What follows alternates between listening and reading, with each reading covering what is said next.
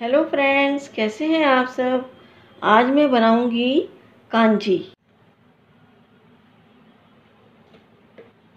ये सरसों पाउडर लिया हमने और लगभग ये पाँच चम्मच सरसों पाउडर है और ये थोड़ी हींग है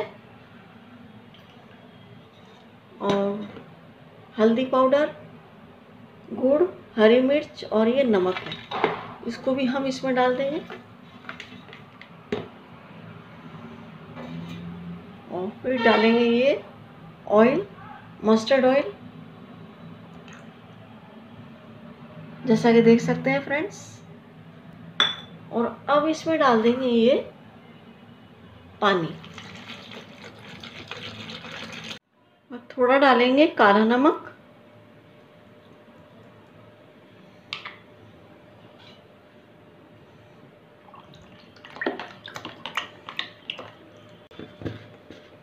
उसके बाद बनाएँगे वड़ा।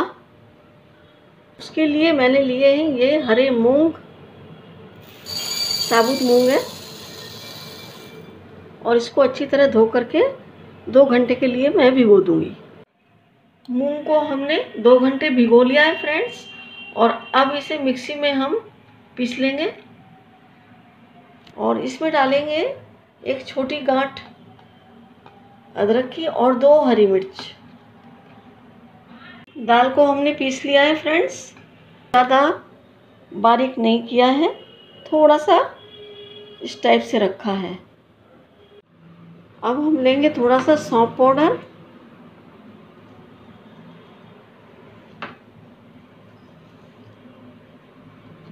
थोड़ा हल्दी पाउडर और ये थोड़ा सा बेसन, एक चम्मच. और थोड़ा सा ले लेते हैं. और थोड़ी लेंगे फ्रेंड्स हींग। थोड़ा सा डालेंगे इसमें नमक, दाल में। और इसको बहुत अच्छी तरह हम फेंट लेंगे।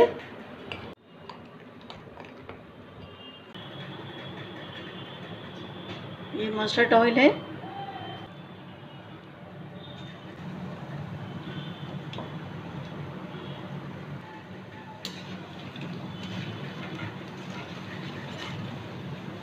अब इनको निकाल लेते हैं फ्रेंड्स अब ये हल्के गर्म पानी में हम भिगो देंगे बड़ों को। उसके बाद कांजी में डालेंगे।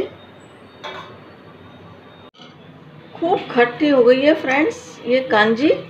डाल देंगे और इसमें डालेंगे। सारे वड़े हम इसको इस टाइप से डाल देंगे।